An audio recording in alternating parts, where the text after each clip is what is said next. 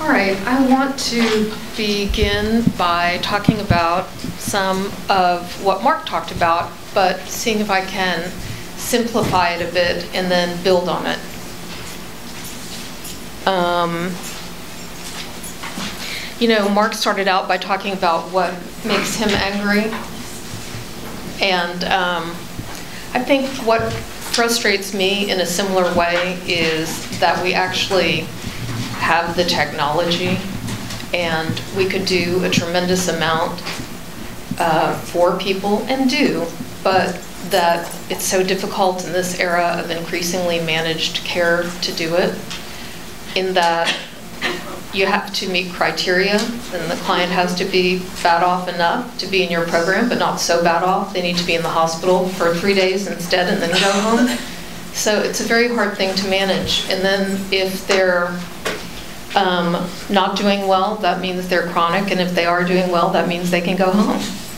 So it's really quite, quite the conundrum, isn't it? And quite a double bind. And my belief is actually that uh, I don't know anyone, frankly, that couldn't use our program, which I'm not trying to get you to send everyone you know to our program, but having started out in uh, sex and marital therapy with couples, and then moving to sexual trauma and sexual addiction, and then moving to eating disorders, and of course having to treat every kind of mood disorder and anxiety disorder along the way, and then um, you really develop a sense of the ways in which we all suffer from the same things and how potent it is to have different variations and different flavors, if you will, of the same suffering in the same room,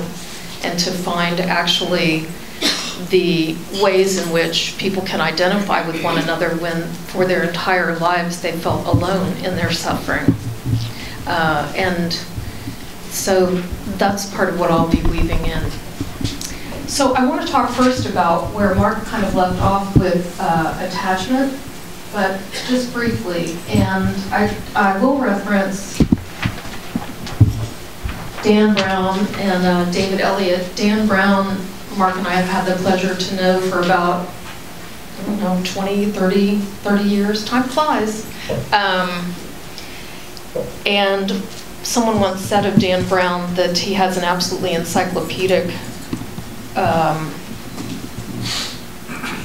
ability with actually any field he's ever been in. So fortunately for us, he was in the trauma field and then in the attachment field and pretty much all related fields. And now he's teaching meditation more of the time than he's doing any of those things, but uh, has found time on the side to really expand the attachment field and to synthesize all of the prior information into a book that makes, you know, for an excellent reading and also a really powerful doorstop because it is just big and you can work out with it.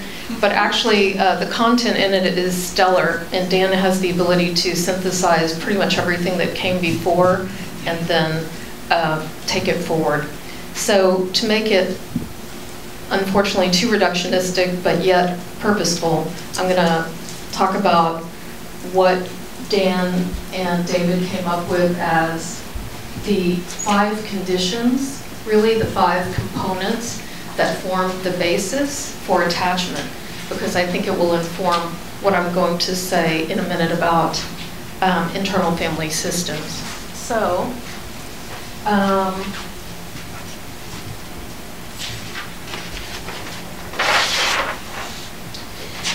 and when when they talk in the book about these five components, they talk about what it is in the parent or the attachment figure that actually is able to engender um, the sense of each of these. So the first one is a sense of felt safety.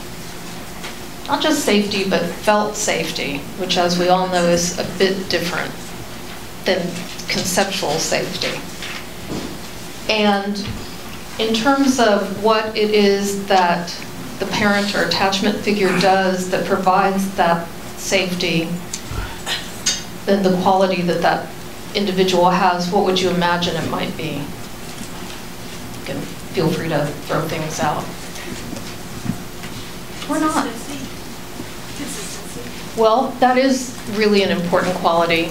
That that wasn't yet the one for safety, but that's a good one. And that and actually, even more important, actually each of these was characterized by a consistent amount of. So you're actually really right. Yours was the overarching one for each and every one of these was reliable access to or consistency regarding. So actually, you're right. That is prior to the first one.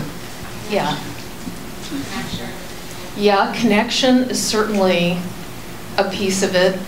Um, I'm just going to tell you what he said because maybe it's actually so specific that you wouldn't think to name it even, but just protectiveness. They talk about like, you know, just think about uh, a mother mammal of any kind other than Homo sapien, but think about a bear, or think about, and just think about the level of protectiveness, you know? And he's careful to say it's not overprotective, so it's not, you know, keeping the child from exploring their world, um, but it's not underprotective, it's not ignoring threats.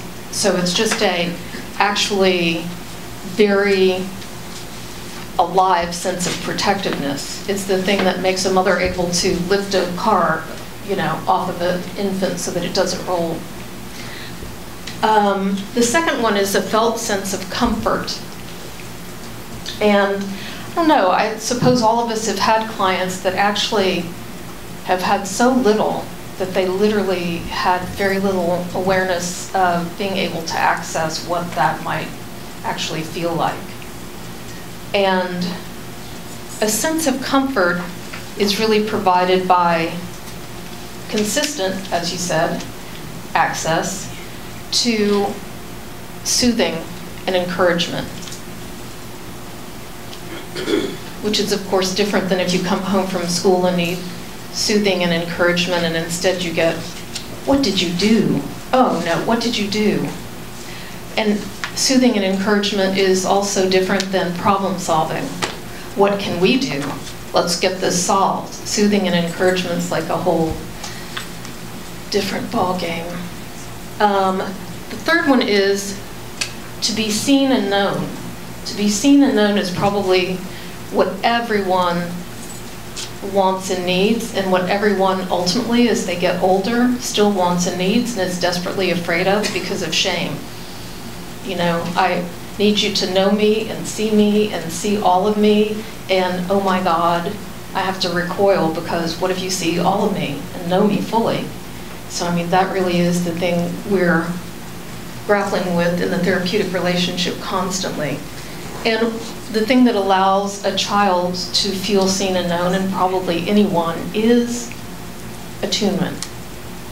So, not just empathy, but attunement, right? It's what Mark was talking about in terms of that rhythm between the mother and the baby, the invisible rhythm that you can feel.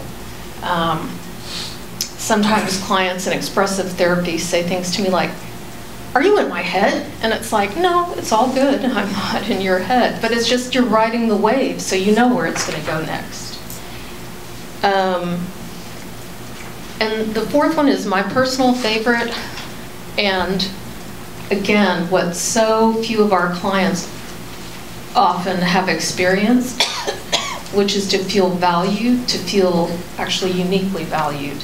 And the thing that allows a child to feel that is that the parent delights in them. And so many of the clients that we treat uh, were anything but delighted in.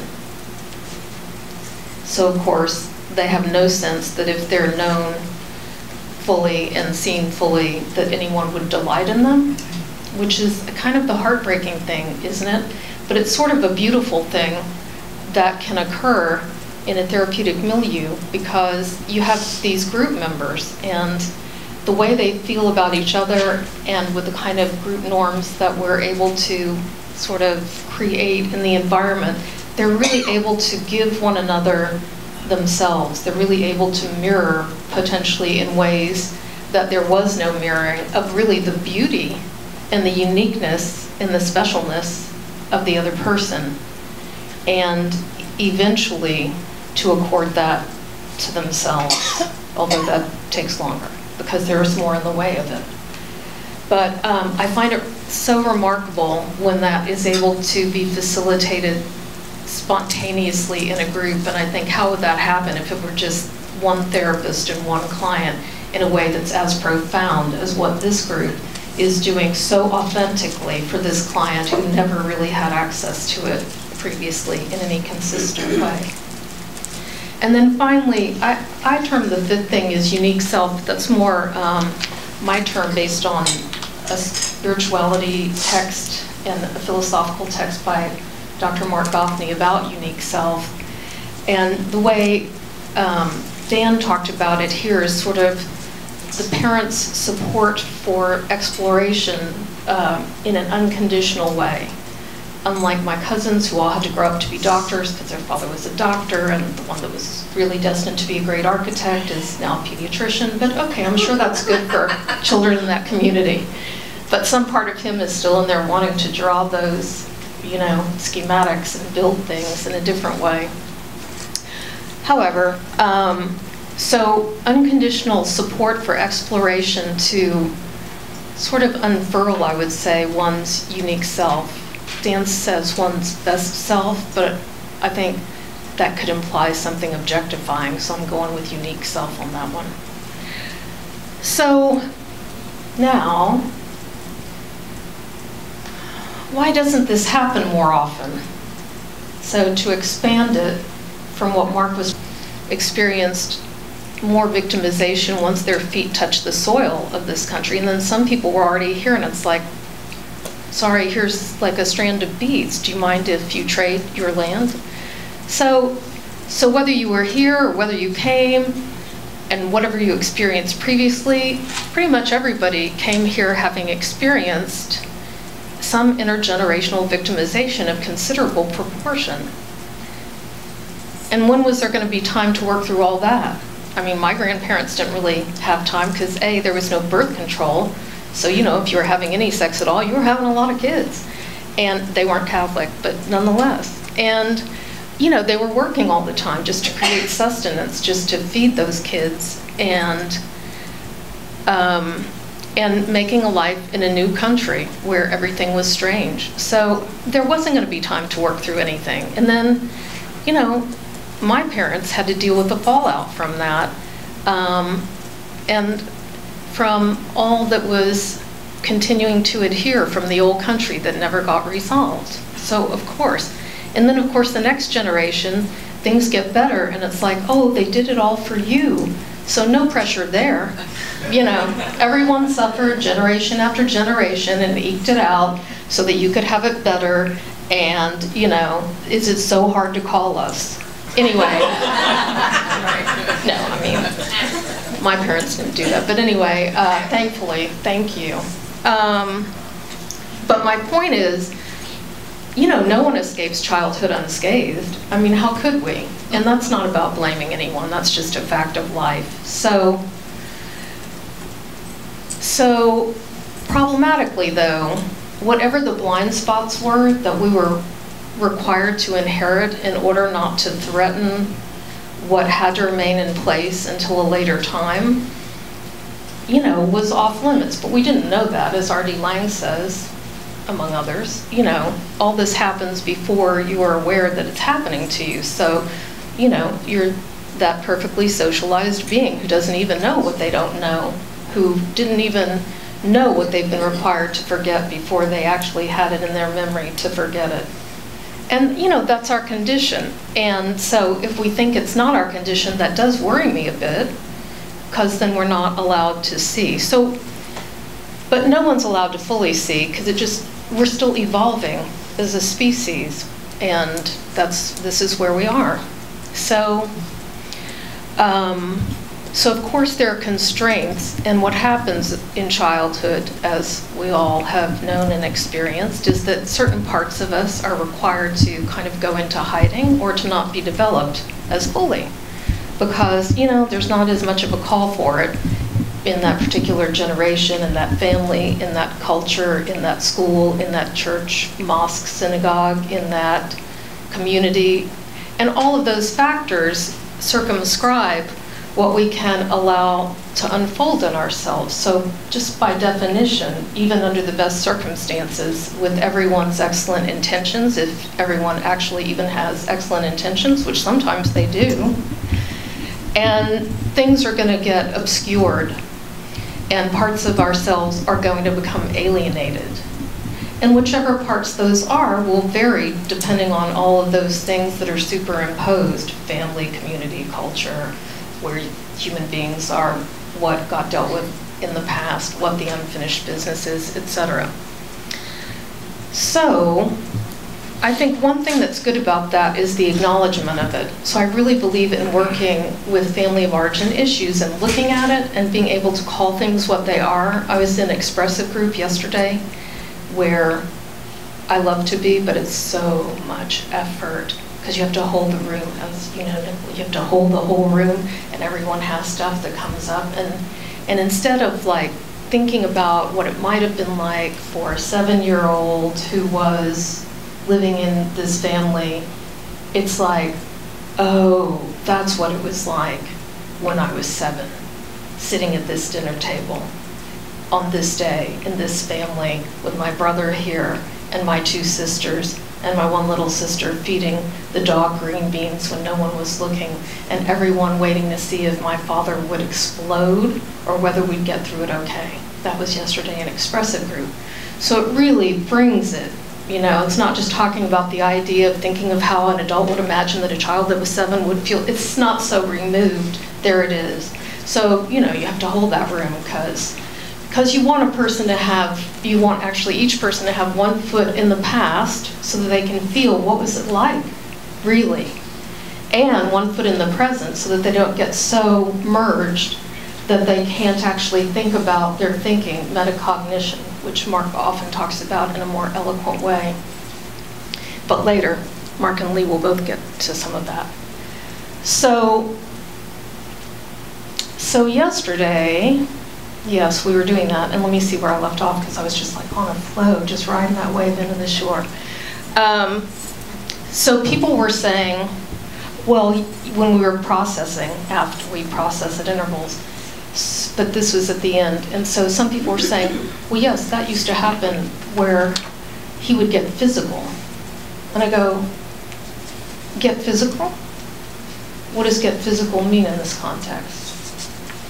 Okay, and then what would follow would make the person be in tears in like two minutes and pretty much everybody else in the room. And then a few people later, someone would say, well, and yeah, and then they used to get physical with us. it's like, okay. Um. Um, and it's like, I would say, as I often do, okay, get physical. That's pretty euphemistic. What does that actually mean? So I believe that there's tremendous power in just calling things what they are, not labeling them, but actually what is the thing you're talking about? You know, like with bullying, okay, that's a thing. I want to know what happened, what actually happened. Because that's how people stay self alienated, right? And I think it's a wonderful survival strategy until you're in a safe enough place and you have enough tools to be able to not be flooded by the affect that will be released. So often people, you know, wonder, oh, how can we get to trauma? And I think it's right below the surface. How can we allow the person to connect with it in ways that are sufficient but not inundating? So then, that is a little bit of where internal family systems begins to come in. Do many of you, sorry, do many of you know much about internal family systems yet? How many people know just a lot about it? Okay. Uh, I'm probably going to bore you all. Those two or three of you, you're going to be bored. But I'll try to say it in an interesting way so that you're less bored. Um, so Dick Schwartz, Mark said, oh, I'm not even going to go there, but I'm just going to say one time I was got actually got Dick Schwartz to move to St. Louis for a couple years so that we could learn from him because I thought it was a really important um, thing to learn. But I was like, Dick, can't you go by Richard or something? Because like I would write on the calendar, pick up Dick at airport, and we had these two gay guys that work with us, and they're like, hey, what's this? And it's like, oh my god. But okay, sorry. We got that on camera? All right. And then, um, anyway, but Dick Schwartz, pretty much in isolation, started to listen to clients now about 30 years ago. And, you know, they would keep saying things like, well, one part of me feels this way, but then another part of me feels that way. I mean, I'm sure we've all heard that a lot and, and said it about ourselves. And he's like, hmm, because I guess he was in isolation and had to entertain himself. So he was like really listening carefully to what clients said.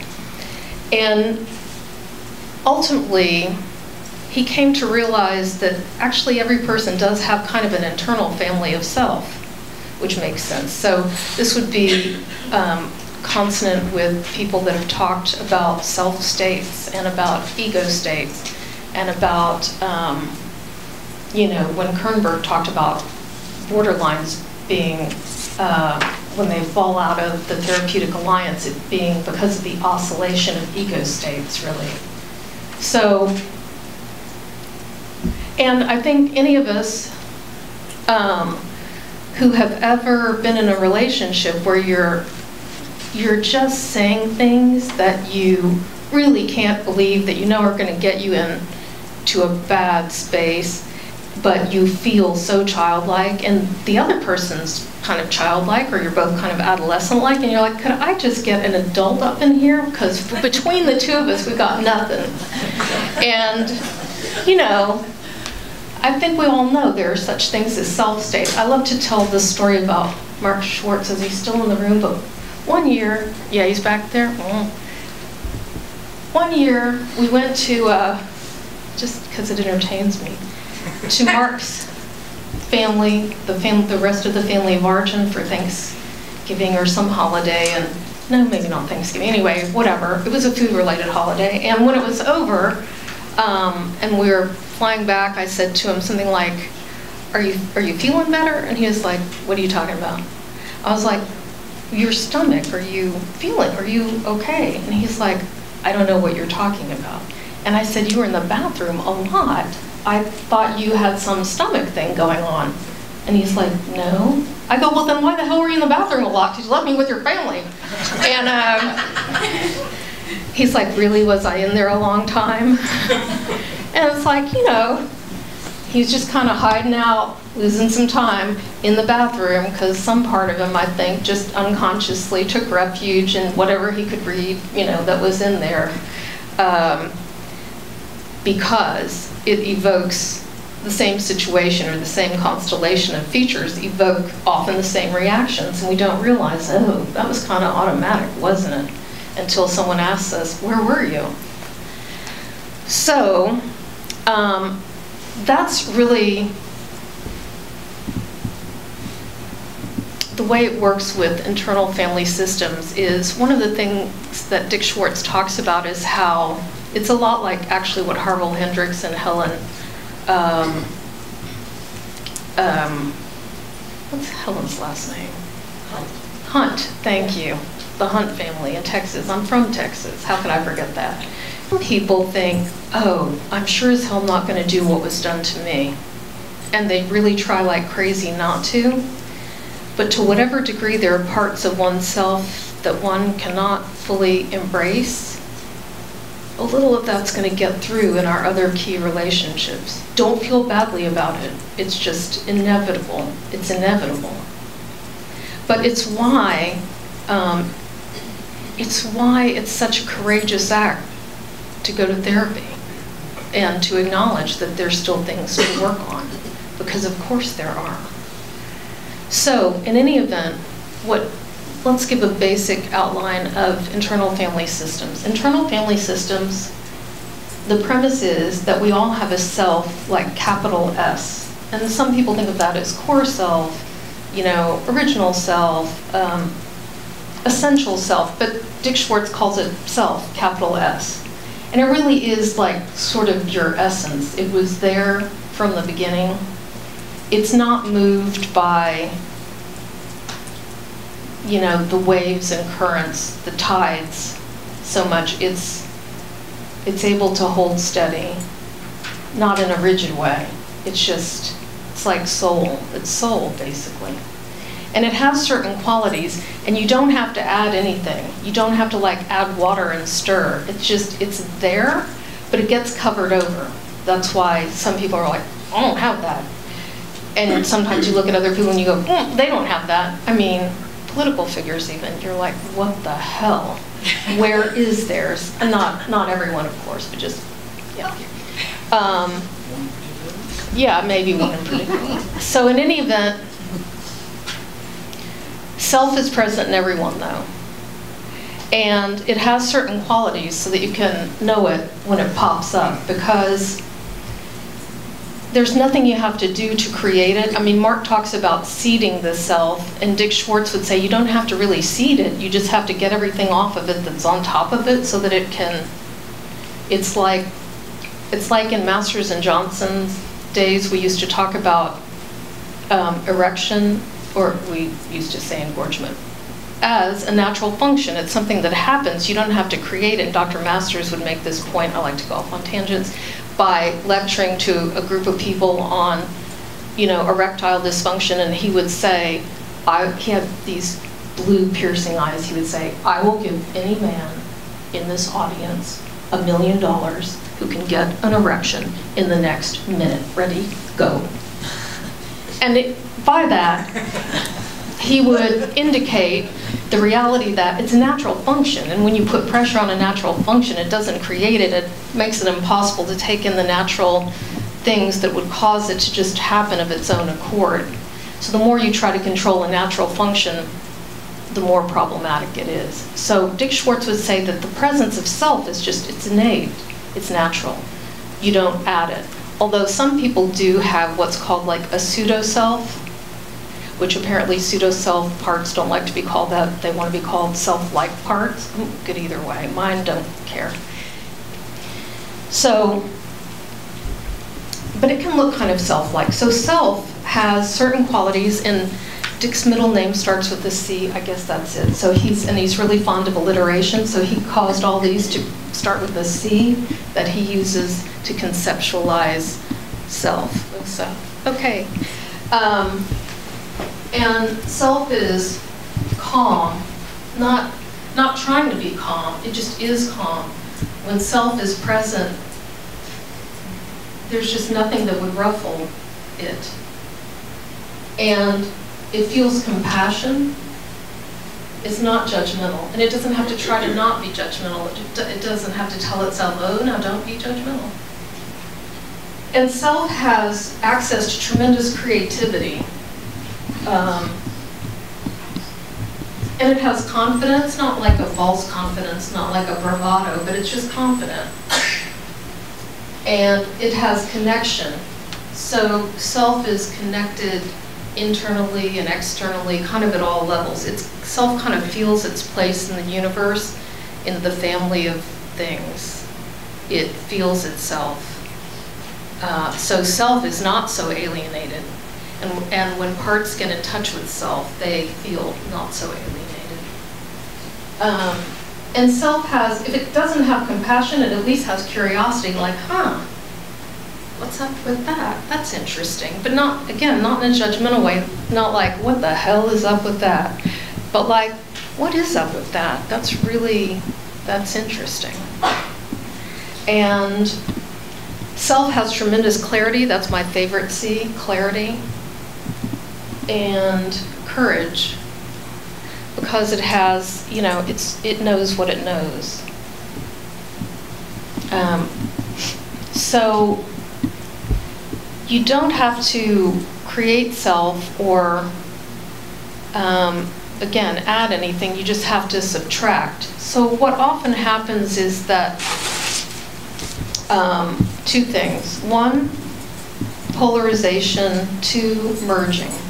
but I'll come back to that in a minute because I have to introduce a couple of other concepts. So there's self, capital S self, and that's kind of like the nucleus. And in the parts, there's self too.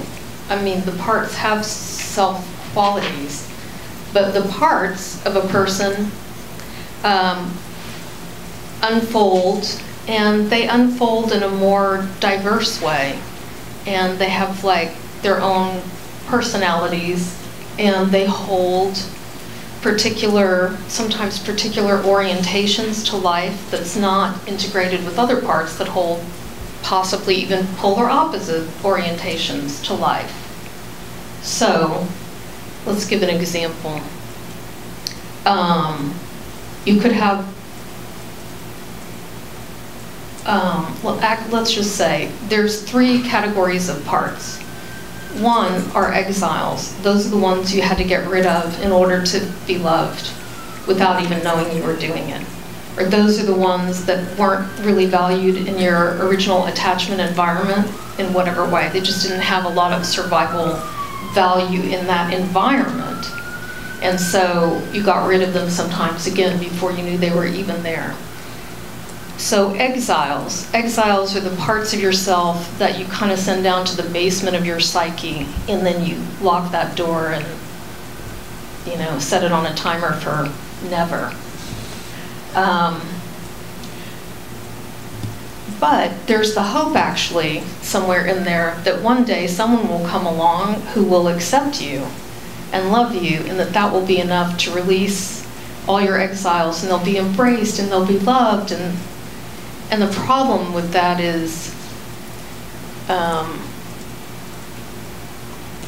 is almost infinite. But again, we'll come back to that in a minute too. So, exiles.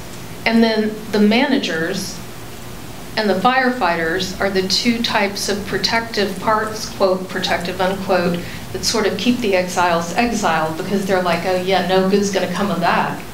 So if you were a kid, for example, and somebody said, oh, you cry and I'll give you something to cry about. I'm sorry, one of the stupidest statements ever made. Really? No thanks, I already have something. Uh, none for me. I sorry if you ever said that to anyone, just you can stop now. It's, you don't need to.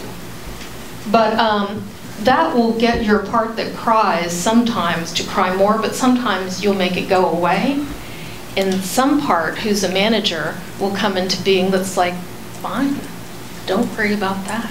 You'll never have the satisfaction of seeing me cry. Right? That's a manager. It's preemptive. Managers are preemptive. They're like, fine. And they, they adapt to circumstances to keep the exiles back because they think no good will come of it. It can't be afforded. And so, unfortunately, the survival strategy outlives the era that gave birth to it, as it's said in the burden slide that Mark already showed, which you have a second time in your handouts that I gave you. So, burdens. And the other kind of protective part is called a firefighter. And Dick Schwartz named them firefighters because it's like they come out with those huge hoses and they like hose down all emotion that's beginning to float up from the basement of your psyche. And, um, and they're like, oh no, we got to get that to stop. Hurry, get out those big fire hoses, push them back, and lock that door again. So things will mess that up. But anyway, firefighters are, while managers are preemptive, firefighters are reactive. Preemptive managers, reactive firefighters. And often, there'll be a manager and a firefighter, like a little attached to an exile. Sometimes more layers than that, but it's typical. It's almost like they're the parents of the exile, you know, and the manager's like uh, the calm one, like, let's just work all the time and we'll be fine. That'll keep us from having to go home and really interface in ways we have no idea how to be there for other people and put the paycheck on the table, we'll be okay. And then, you know, and then suddenly things happen and that, that doesn't work anymore. Like, you know, you're a man and you're like, I'm putting the paycheck on the table, I got a job, it's good, I take them bowling periodically. And then, you know, your wife's like, I want more. And you're like, oh my God, what? I want you to feel emotion. I want us to connect. I want you to know who I am and I want to know who you are. It's like, oh my God, no. And, um, you know, that's like calls for a firefighter. So then that's, you know, you could have an affair or something that would definitely handle that situation. And it's very interesting what happens with these parts can just be crazy stuff, especially with the firefighters. It's like another thing that will screw up good managers is good therapy. Because those managers, they had those exiles in check, and now there's some therapist, and the client starts to trust them. And it's like, oh my God, the little exiles want to come out and feel loved and accepted and be in this unconditional po positive regard. And it's like, oh, hell no. This person is going to go away anyway. Everyone does. We cannot let that happen. And so the person starts just when they get, just when you think, God, this therapeutic alliance is really solid, the person acts out in some crazy way to get you to pop out of the therapeutic relationship. Why? Usually firefighters. They're like, this cannot go on. This is dangerous. So often managers are, you know, because of the schemas that go with um, attachment issues, they're, they're mediating a level of intimacy that's tolerable. And when that gets screwed up, as anything that's forward moving, not just awful things, will screw it up, that disturbs the equilibrium. But that's life. So this is where internal family systems work can come in and be incredibly useful and incredibly, as Mark said, you know, able to go right to the point of what's happening and work with those specific parts. Let's get questions first, and then I'll go back to some of these things I swore I would go back to. Anything about that so far? Let's say a woman comes in and she says, I just, I don't know whether I should divorce my husband or not. You know, here are the things on the pro side of what's good about it, here are things on the con side of what's bad about it. You know, my last cognitive therapist told me I should make this list but I still feel like, yeah, I don't know. And, you know, and often we'll join and try to engage and try to help there be a logical decision. Well, in internal family systems, you wouldn't do that. Anybody have any idea what you might do?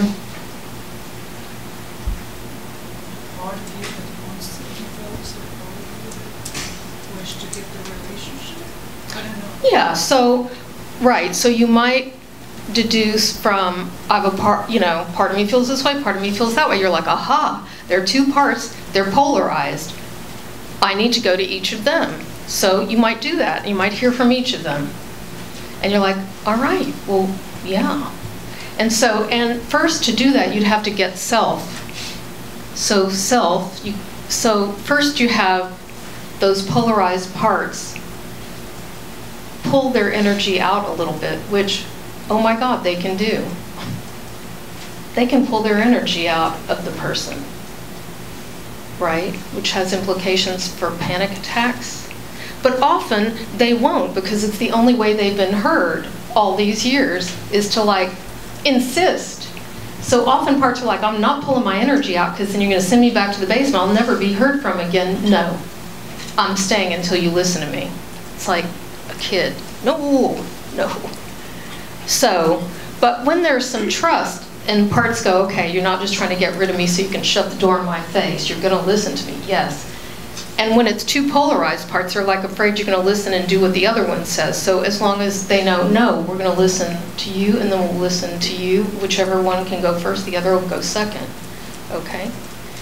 So now they step back. And then when they step back, what you want to see is self. And that is what will happen if all the other parts step back.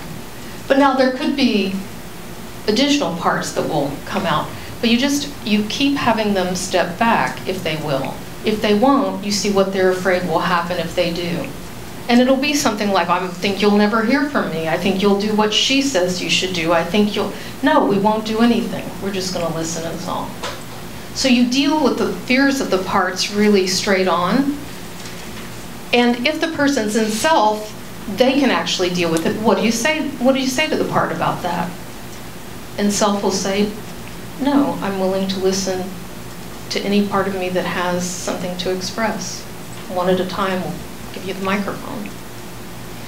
So what's really good is that you don't have to be a brilliant therapist forever because their self will begin to do more and more of the work. I have some clients, I mean, my God, they're more in self than I am at this point. And, you know, all I have to say is, well, what do you say about that? And they'll give an answer so brilliant that I'm like, thank God I didn't do that because there was no need.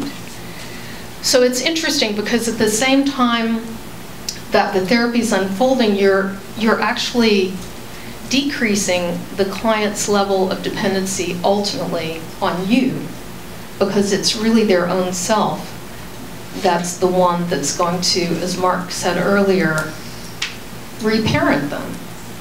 Because there couldn't be a better parent than self. And in fact, what we were talking about earlier is if the self of the parents had been able to be more present, then there wouldn't be these particular polarizations and blocks. But in the places where that wasn't possible, there are polarizations and blocks and protection. So again, nobody's fault, but it's like, it's not that the parents were bad parents, it's that the parents were often so covered over with their own firefighters, with their own managers, or with their own exiles whose dependency needs never got met, that the parents couldn't really parent from self because their self was like under, was like the football under the two teams that fall on top of it. And that's, that's how that goes. And people actually begin to see that and they're like, oh my God, you know, my parent was just so driven by this. And that's like, exactly. And they begin to have compassion, not just for themselves, but ultimately um, others too. So you, as Mark said, you don't want to jump to forgiveness because that's a manager that's like, I just want to forgive them now. And it's like, yeah, no, you're a manager. And you just don't want to feel the feelings of that exile that was so hurt and upset and angry. And no, we're going to listen to all those parts first before anything else. So, as you said, you listen to the two polarized parts. But then what do you think you do about should the person leave her husband or not?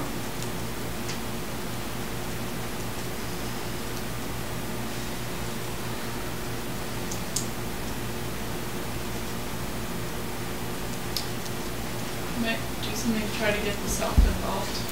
Yeah, this, that's right. Get the self involved. The self would be involved because the self, you would have moved the energy out. So it's the self and you, the therapist, yourself, hopefully, that's listening to those two parts. And, and you're really just reflecting. You're not trying to influence them. You're like, so you really, so you might be saying, and the person self might be saying, so you never wanted to be dependent on a man to begin with because you saw this go down in your family and so you're ready to run. Let's say she obsesses about everything that could happen, this manager. She tries to see it ahead of time. She kind of restricts experience so that the exile doesn't get overloaded and make bad decisions. She tries to, you know, work and do the right thing and be kind of perfectionistic. And um, that's how she's going to keep the exile safe. And let's say on the other side of it, you're like, oh my God, if I do that all the time, I'll just seem so uptight. I won't have any friends. I'll be all rigid. So you're like, no, I'm going to break some rules. And this one's like, no, you're not. And you're like, oh yeah, I am. And so they're both trying to protect an exile. Let's say this is the exile that's being protected. Is that okay? Can be just, I'm, you don't have to do anything except just sit. And like this exile is like, the, these are like, you know, manager, firefighter so, um, and they're just like battling, like as Mark said, internal civil war about who has the best parenting. No, this is our strategy. This is what we're doing. And so, like, the person will function really well. Like, they're the best person. You totally want to hire them when you meet this part. You're like, yeah, you are organized. The person who comes in for job interview and they go, well, you know, is there anything kind of negative about how I am as an employee? Well, I'm a little bit perfectionistic and you know, maybe too conscientious. Okay, I think that'll work out okay. And this one's like, oh my God, that's just ridiculous. We're going to go out and have some fun. So, you know, so it's like maybe during the work week, this one prevails, on the weekends, this one prevails, and you realize, oh, something's discontinuous here. So in any event, once we go to this exile and the self of the person, let's say, Sam, you're the self of the person. What time is it? Am I done? Okay, Sam is the self of the person with a watch. And Sam and I, myself, you know, it's like a tuning fork. If I'm in self, it will help herself come forward too. And so between the two of us, we've like listened to both of these and we're like, wow, your intention is to protect her. And wow, your intention is to protect her. You just do it in opposite ways. And they're like, well, I guess that's right. So they don't really hate each other quite as much, but they're like, I can't step back unless you step back because I'm not going to let us get all rigid. And you're like, I'm not going to let us get way out there. And so we go to this part, and Sam develops this empathic understanding of her because there's nothing to develop. Self just gets it. So ha Sam has these qualities. And the exile that you are can finally feel witnessed and can feel those qualities of attachment that may not have been so available originally. And these two are like, hmm, okay. And then this part unburdens. I mean, it could take one session, it could take 10, it could take whatever. Usually it doesn't take all that long. And then this part is like, wow, she's like a kid again. She's like, whoa, I feel free, I feel lighter. And she invites in qualities she hasn't had, like, whoa, self expression, creativity. Often they're kind of just vibrant qualities, whereas she was like, and these two are like, oh, I go, Sam's, I, let's look at her now. And they're like, yeah, she seems much better. Does that mean you don't need us? And it's like, no, job retraining. You all are actually freed up from this thankless thing that you were in before, but you're talented. And you could do whatever you might prefer to do now that's a little more enjoyable for you than having to argue over how to protect her, because as you can see, she's much better. She's okay. And if she's not okay, like if something happens, self can help her out because now you have access to self, and self has access to this part. So you're like, well, damn, I'm pretty fun-loving. I think I want to find creative and interesting ways to explore the world that are not necessarily, you know, risky, but I might try some skydiving. Okay. And this one's like, oh, you mean I don't have to do everything so intensely? But I am really good at that, so maybe I'll take some business courses and learn how to do a business plan that's even cooler, but creative too. And so both of these parts can actually, and then self like helps them with their burdens so that they can actually go into a new role. And that is how mental health occurs increasingly with internal family systems. Good. So it might be interesting to play a little piece of a video of Dick Schwartz doing some IFS. You're certainly not going to, you know, learn it from a few minutes, but you can just get a feel for kind of how it unfolds, and that'll make you interested and then you want to take Dick's course and then tell him I sent you. I don't get a rebate though, but hell, you know. All right.